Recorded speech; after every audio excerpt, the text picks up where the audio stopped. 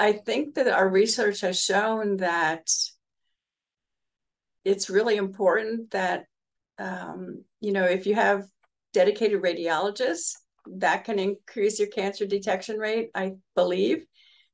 But that in conjunction with artificial intelligence can really maximize the outcomes um, and find the most cancer at an earlier stage.